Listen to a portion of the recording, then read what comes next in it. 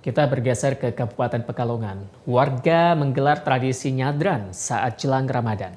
Tradisi ini berupa bersih-bersih makam keluarga dan serta diakhiri berebut nasi bungkus untuk kemudian disantap bersama-sama. Tradisi ini pun juga jadi ajang silaturahim karena dihadiri oleh warga perantau yang juga pulang sejenak ke kampung halaman mereka.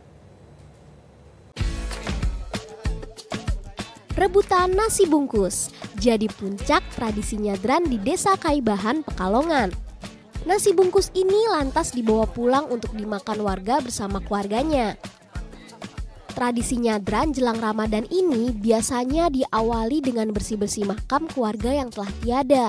Menurut kepala desa setempat, tradisi ini merupakan warisan leluhur sejak ratusan tahun lalu.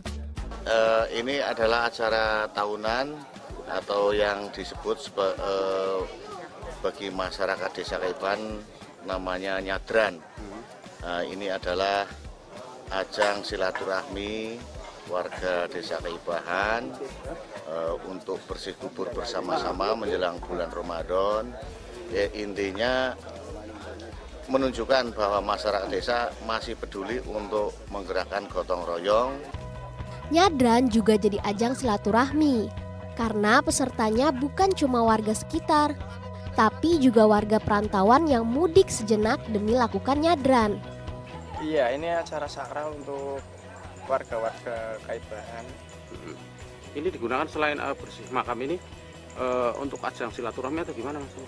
Ya untuk ajang silaturahmi ya juga untuk uh, menyambut bulan Ramadan. Harapannya, tradisi ini bisa terus lestari di tengah perkembangan zaman. Triono Saifullah melaporkan untuk NET.